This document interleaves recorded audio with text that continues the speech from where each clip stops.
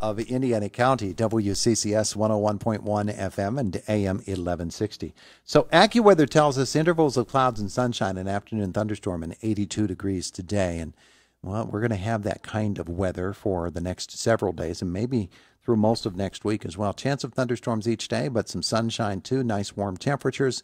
What else are you going to do with your time? Then go to the 158th Indiana County Fair. It is back. And so is Ed Nehrig back with us. Our conversation brought to you by Marcus and Mack, a law firm representing injured people. Ed, good morning. Isn't it good to be back at the fair? Good morning, Todd. It sure is, and we're back, and we're, everybody's enjoying what they're doing over at the fairgrounds and having a good time. That because we're back.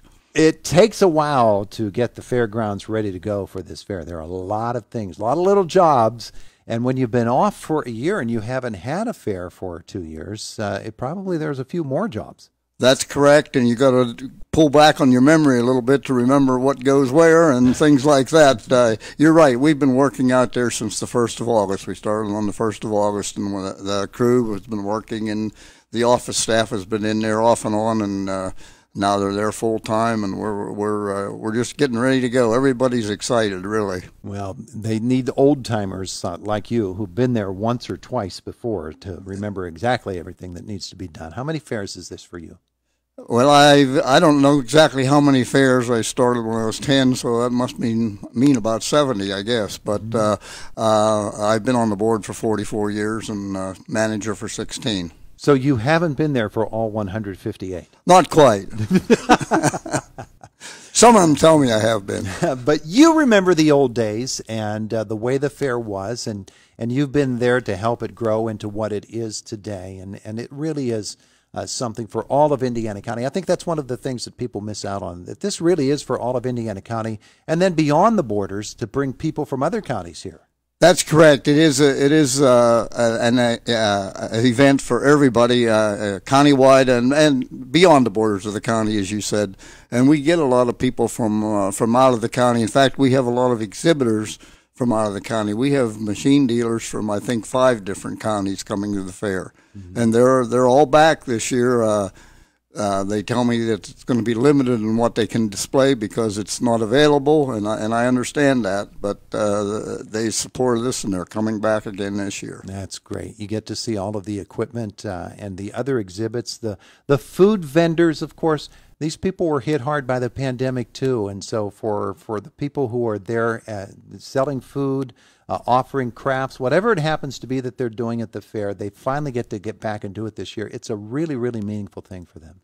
That's correct, and and there are many of them uh, setting up or set up there already, uh, and and they are most of them are back. There was one or two that uh, have gone out of business that we know of, but the rest are back, and uh, pretty much uh, everybody's excited in that area too. Looks like the fair again, doesn't it's, it? It's starting to look like the fair, and in another day or two, it'll smell like the fair. Yeah, well, that's a wonderful smell. Now, now you had harness racing the last couple of days. Yes, we did. Yesterday we had started harness racing. There will be another uh, uh, race today. There was, I think, 12 heats yesterday, and I think there's 13 scheduled for today, yeah. and uh, they're getting the track ready again now as we speak. That starts at two o'clock this afternoon. Two o'clock is uh, mm-hmm. post time. That's correct. Yeah, and exhibits are coming in, of course, now and uh, pretty much until the fair gets underway. That's correct. Uh, we start taking exhibits at twelve o'clock today, and all the uh, all the exhibits for in the buildings will come in today.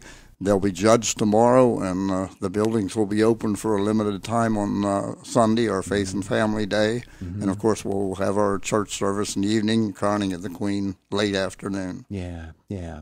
So many things happen on this weekend of the fair. Before the fair officially kicks off, there are a lot of things that happen on the fairgrounds. So you got a lot of things happening this weekend. That's right. Even tomorrow, we, we start pulling tractors, I believe, at 9 o'clock in the morning, and we'll pull. Mm-hmm as long as there's tractors there to pull, and that'll be probably late tomorrow night. To start with the antiques and work through the farm classes. One of the things that people most look forward to about the fair, in addition to the nightly grandstand events, uh, are the, the the various different shows that happen. Uh, and and the exhibits that come, and uh, this year there's something called uh, the Jurassic Kingdom that's correct. It's a, a dinosaur show, and it will be up on the uh, football field up below the swimming pool. Uh, we've had small shows in the past. This is a uh, a, a little bigger show, and uh, the kids just love shows like this. Yeah, yeah. It sounds like it's going to be a lot of fun for the kids. Uh, so, so that's something new for the fair this year. What are some of the other things that uh, you most look forward to Fair Week? Well, I, I just, I guess what I, I don't have time to see all the exhibits, but what I look forward to most, I think, is the people. Just to have them come and, and uh, enjoy the fair, enjoy themselves. Uh, one new thing that uh, we're looking forward to this year is on Wednesday night our ATV drag race. Uh, mm-hmm. Uh, there's a lot of interest been shown in that, so we're hoping that's a, a big uh, night for us at the fair. Yeah, yeah. Um, cheer night, uh, band night used to be on Tuesdays. It's it's now later in the week, right? Uh, it's still on Tuesday. Band night will be Tuesday. Cheerleader night will be Thursday. Okay, that's that's what I was confused yes. about. I, I yep. that was my fault there. Uh, but uh, there's something in front of the grandstand every single night. Oh, that's correct. We start off tomorrow night with the four x four truck pull and uh, just work through the week. Uh, Friday night, of course, will be our big rig, our smoke and noise night, and then Saturday will be our demo derby and uh, and uh, in the evening, it'll be the triaxle dump truck yeah. pull. Yeah, about that. In our last segment, last half hour, we were talking with Bob Pollock uh, from the Extension Service uh, and making the point, and Bob was making the point, that this really is an agricultural fair that means so much to the kids in 4 H, to everybody involved with the livestock there. And people who go for one thing, maybe a grandstand show, uh, or or maybe they go just to eat or to to visit with friends or whatever it happens to be. If they would mosey on over to the livestock barns and watch the judging that goes on and see some of the ways that these kids have uh, put the work they put into their animals, they might have their eyes open and find themselves absolutely fascinated by what goes on.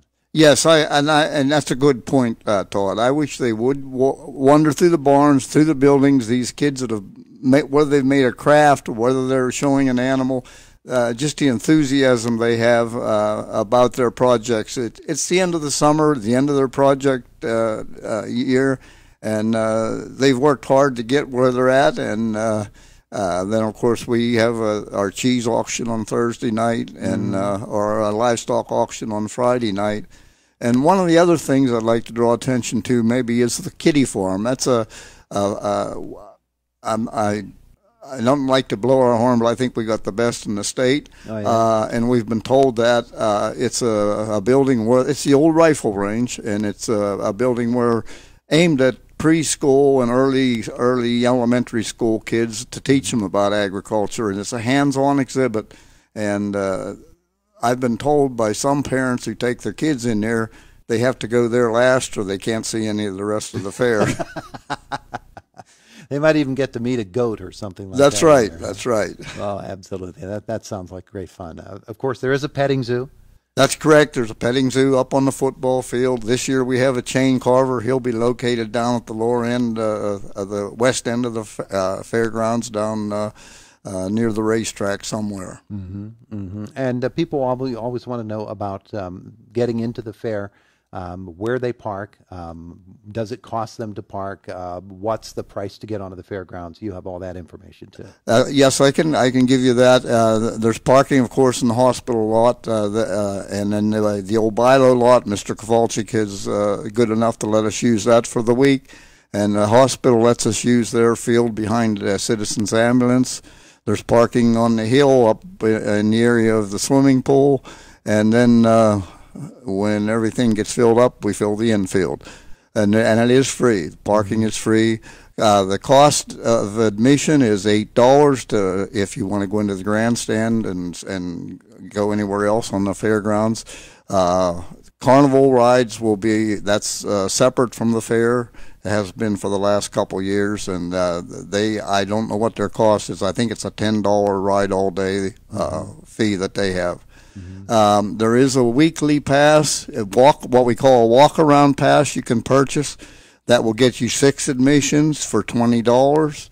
Uh, whether you want to go six times yourself or take the whole family for one night, it's yeah. a twenty dollar admission for the walk around. Yeah, and for any office that wants to go and have some lunch over there, they can do that with. Uh, That's correct. We don't start charging until two o'clock. Uh, the, the, lunchtime crowd is uh, able to get on the crowd on the grounds, have a a stromboli, a hot, a hot sausage, whatever they want for lunch, and uh, and leave and go back to work. They are good to go. Ed, we're going to have you in with us to visit uh, through the course of next week as well, a number of days.